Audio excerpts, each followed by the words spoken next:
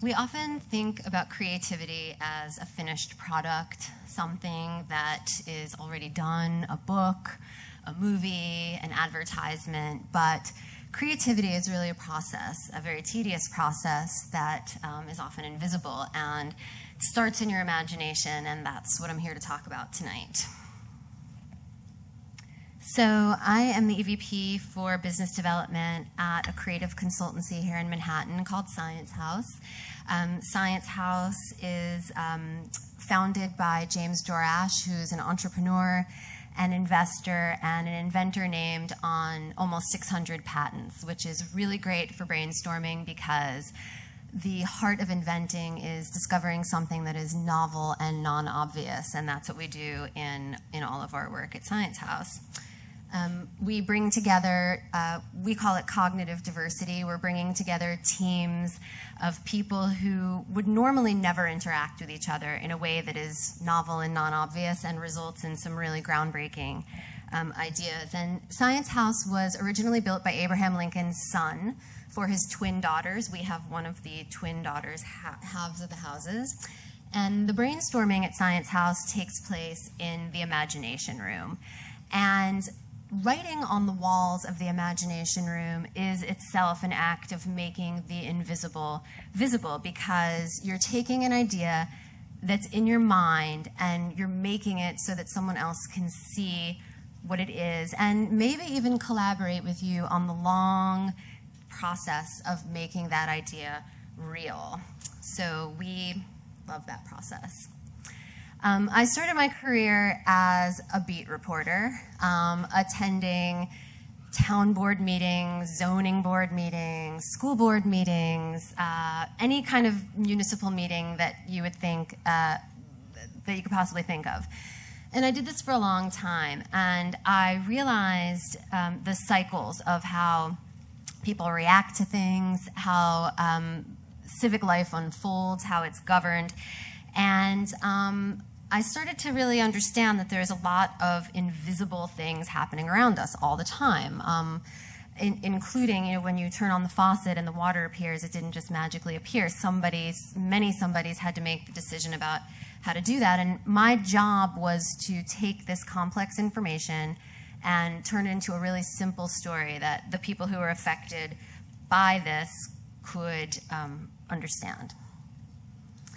I was inspired to become a journalist by someone named Dan Eldon. This is a picture of Dan Eldon shown here. Uh, when he was young, he did some really incredible things, including documenting his adventures uh, with the likes of um, Christopher Nolan, who later went on to direct Memento and Inception. He was surrounded and, in fact, spearheaded this incredible creativity and really was the master of making the invisible visible. And um, inspired me to become a journalist. Dan was killed in Somalia in 1993, and his mother, Kathy, um, made the decision, amazing decision, to posthumously publish his art in a book called The Journey is the Destination. And it was, in fact, that book that really changed my life and my career.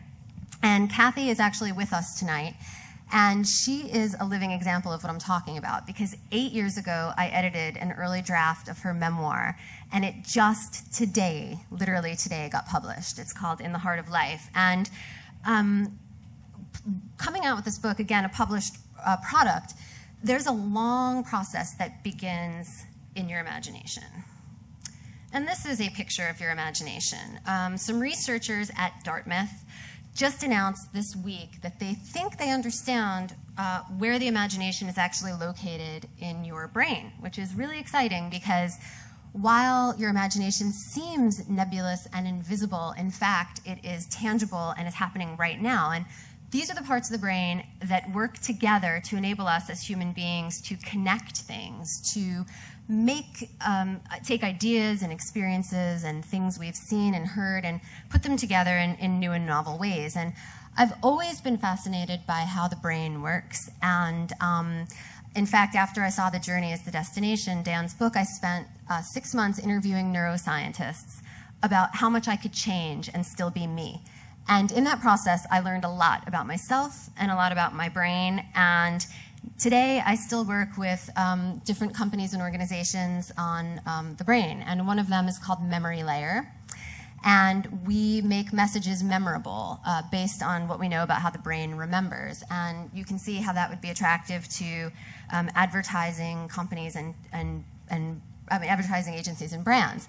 And when we first started collaborating with agencies and brands, one thing I noticed is that there was this division between the creatives and everybody else. But I think I agree with Andy Warhol that being good in business is the most fascinating kind of art. And as soon as a group of people come together to tackle a business challenge um, and to ask the right questions, they are all creative, and they better be all creative because the final product suffers when anyone sees themselves as not creative.